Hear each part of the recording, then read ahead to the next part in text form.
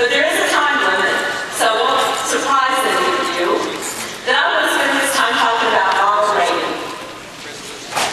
You know, I know there's nothing unique today about Republicans running for office invoking the name of Ronald Reagan. But, but I want to talk a little bit more about what made him so great. It was his courage. And I want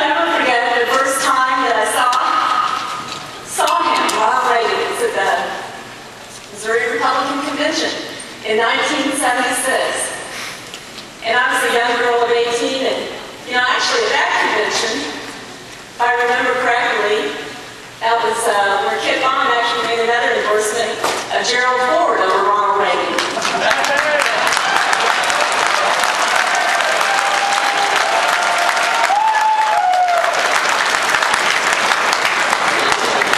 But I was a young girl.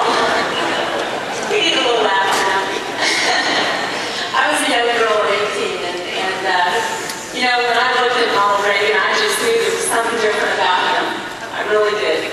And I could feel that he was a great man, and that there was a special reason that made him great.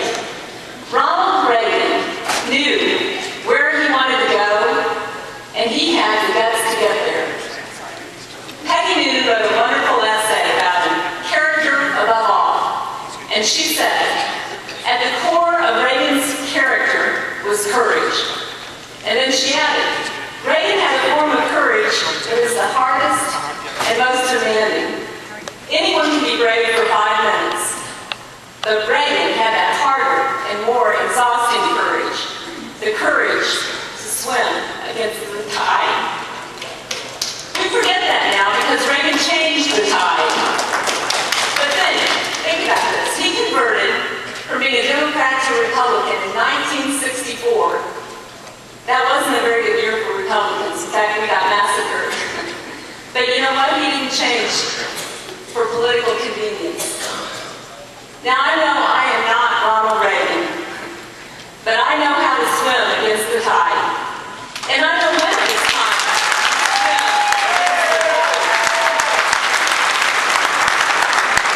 I had an interview with a reporter just this week.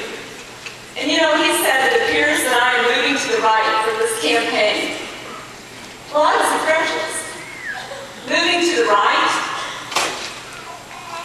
Moving to the right? I was talking about my record with him. How could I be turning to the right when I was the sponsor of the constitutional amendment in this state that defines marriage between one man and one woman?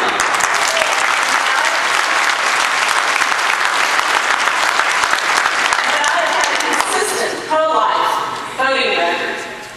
And, unlike some of our Washington friends, I do oppose wasteful pork barrel spending.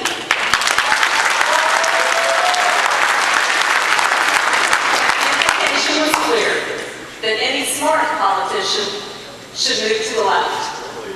Well, I don't believe that. I don't believe that for one minute. Missourians like yourself maintain the same basic principles and values that Ronald Reagan did 32 years ago. And there is a strong tide today, and a tide that we must swim against, all of us together. It is the drift away from principle and towards political expediency.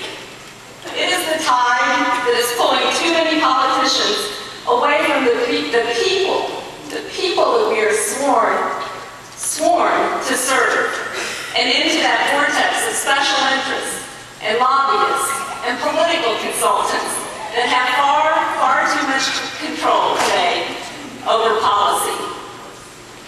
That is the tide we are fighting. That is the tide we're fight together.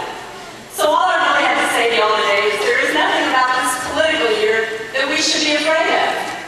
We just need to believe in the same vision that Ronald Reagan had. Believe that a smaller, freer government is a better government. Believe in the protections of one of history's truly, truly remarkable documents, the Constitution of the United States.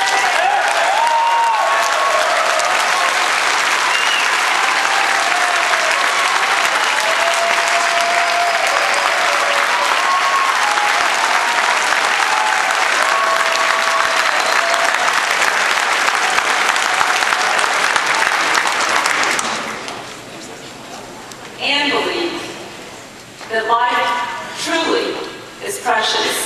any age. This is what I believe.